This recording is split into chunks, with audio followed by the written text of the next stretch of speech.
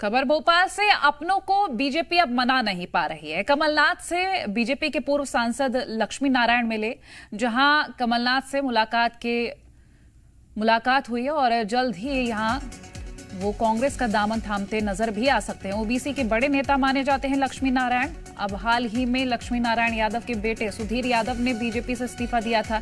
बड़ी और महत्वपूर्ण जानकारी आपसे साझा कर रहे हैं। देखते ही देखते बीजेपी कितनी कमज़ोर होती जा रही है। आप लोग खुद अंदाज़ा लगा सकते हैं। चुनावी वक्त है और ऐसे में अपनों को बीजेपी नहीं मना पा रही है।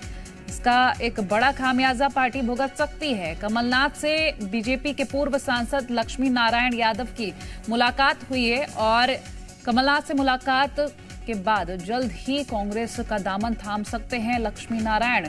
अब ये भी जानकारी दे दें कि ओबीसी वर्ग के एक कद्दावर नेता, बड़े नेता माने जाते हैं लक्ष्मी नारायण यादव और हाल ही में उनके बेटे सुधीर यादव ने भी बीजेपी से इस्तीफा दे दिया था और सिर्फ़ इस्तीफा बीजेपी से नहीं, उन्होंने अपने वक्तव्य में भी कहा था कि कार्यकर्ताओं, नेताओं का सम्मान नहीं है।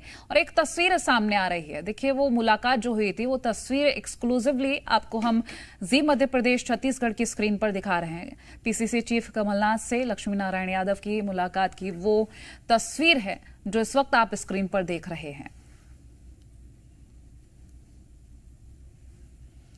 जी मीडिया संवाददाता प्रमोद शर्मा हमारे साथ लाइव जुड़ गए हैं। प्रमोद देखिए तस्वीर सामने आ गई है और आ, सुधीर यादव के इस्तीफे के बाद लक्ष्मी नारायण यादव का ये इस्तीफा।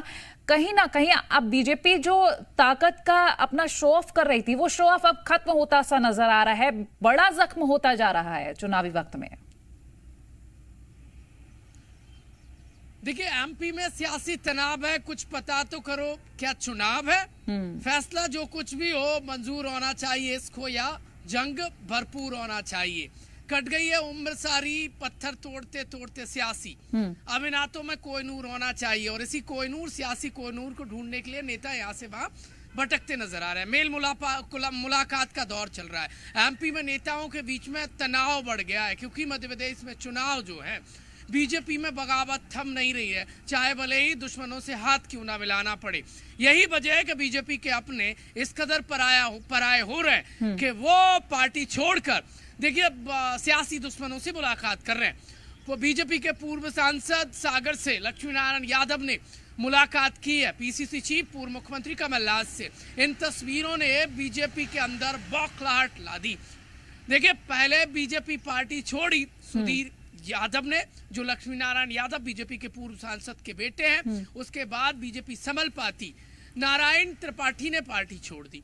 अब देखिए बीजेपी कुछ और कदम उठा पाती कि पूर्व सांसद लक्ष्मी नारायण यादव और सुधीर यादव की ये तस्वीर आ गई। मुलाकात किससे कर रहे हैं? कमलनाथ से। हम्म। जो देखिए इस समय बीजेपी के सबसे बड़े सियासी प्रतिद्वंदी है। उनसे हाथ मिलाते नज़र आ रहे हैं। कुल मिलाकर ये बीजेपी के लिए मध्य प्रदेश में कठिन वक्त नज़र आ रहा है हम्म। और जो एंटी इनकम वैसी है वो और ज़्यादा बढ़ जाएगी क्योंकि पिछड़ा वर्ग हितेशी का बीजेपी जो वादा करती है वही पिछड़ा वर्ग के नेता बीजेपी को छोड़ रहे हैं सुधीर यादव ओबीसी वर्ग से आते हैं यादव वर्ग से आते हैं और उन्होंने जब बीजेपी छोड़ी तो बीजेपी में यादवों की दुर्दशा का आरोप लगाया कहा हम्म। कि नौ फ़ीसदी यादव मध्य प्रदेश में, बीजेपी में तवज्जो नहीं मिल रही है तो कुल। मिलाकर बीजेपी के अपने पराये हो रहे और सियासी उन्हें भविष्य की चिंता सता रही है क्योंकि बीजेपी में दूसरी पार्टी से आए नेताओं को इस कदर तवज्जो मिल रही है हम्म। कि उनके अपने नेता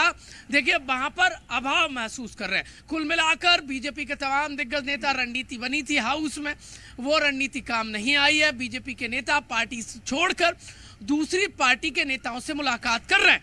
और क्या लक्ष्मी नारायण यादव भी बीजेपी छोड़ेंगे? क्योंकि ये बात तय हो चुकी है कि एमपी बीजेपी अपने नेताओं को संभाल नहीं पा रही है खुश नहीं कर पा रही है मना नहीं पा रही है। ये बीजेपी के लिए कतई तस्वीरें ठीक नहीं है।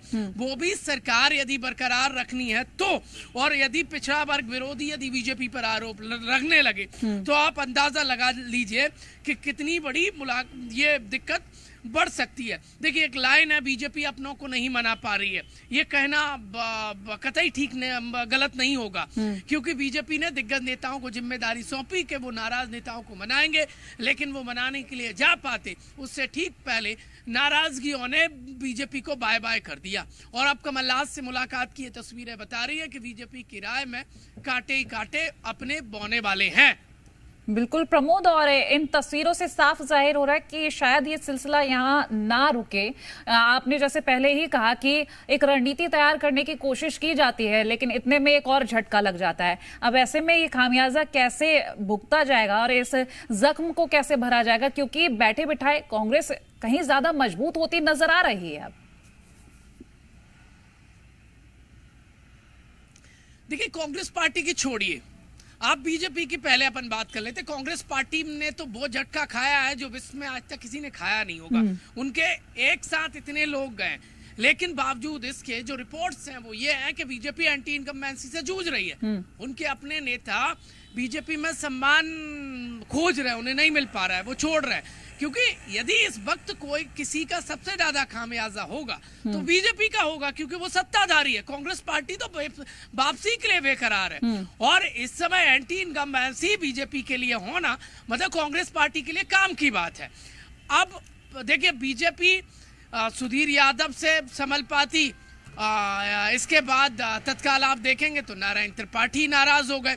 और अब एक और खबर आ रही है कि सैडोल से एक बीजेपी नेता ने इस्तीफा दे दिया। एक और नई खबर आ रही है कि सुसनेर से भी एक नेता नाराज़ हो गए उन्होंने इस्तीफा दे दिया। तो कुल मिलाकर बीजेपी में ये नाराज़ नेताओं की जो लिस्ट है हम्म। वो बढ़ती जा रही है। संभाल नहीं पा रही बीजेपी अपनों को। कांग्रेस पार्टी को फ़ायदा होगा नहीं होगा ये तो आने वाला समय बताएगा। हम्म। फ़िलहाल तो बीजेपी के लिए अपने अड़चन बन रहा है। ये सियासी बातचीत बाद में होगी। पहले तो बात ये है कि परिवार में कलह मच गई है बीजेपी में। और जो दिग्गज नेता है जो एक सूत्र में बांधने की बात कहते हैं बीजेपी के क्या वो संभाल नहीं पा रहे हैं अपनों को? और दूसरी बात ये है कि ये जो अपने हैं हम्म। वो कितना गतिरोध लाएँगे ये अंदाज़ा यदि आपको जानना है या लगाना है 2018 के इलेक्शन के बिल्कुल बिल्कुल सही कहा आपने क्योंकि इतिहास भी उठाकर देखना बेहद ज़रूरी है यहाँ पर। बहुत शुक्रिया प्रमोद ये जानकारी हमसे साझा करने के लिए।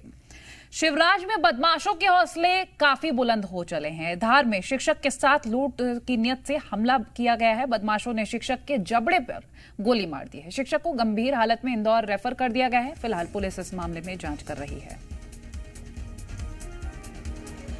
तो आम जनता कैसे खुद को सुरक्षित महसूस करे? खुलेआम बदमाशों में बेखौफियत नज़र आ रही है। शिक्षक को गोली मार दी गई, जबड़े में गोली लगी है और फ़िलहाल गंभीर स्थिति में इंदौर रेफर किया गया है। पुलिस इस मामले में जाँच कर रही है।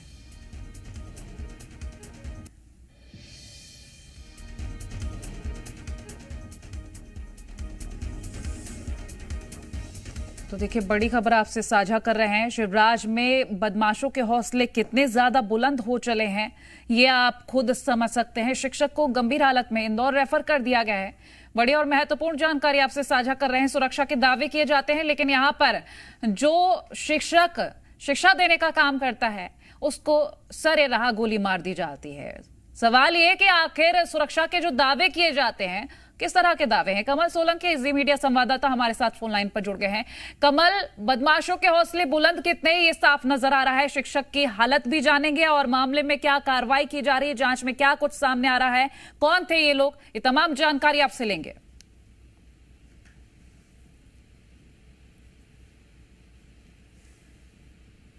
कमल, मेरी आवाज़ आप तक पहुंचवा रही है? चलिए फिर से संपर्क साधने की कोशिश करेंगे, लेकिन ये बड़ी और महत्वपूर्ण जानकारी आप तक हम पहुँचा रहे हैं। शिवराज में शिक्षक सुरक्षित नहीं है। आम जनता सुरक्षित नहीं है।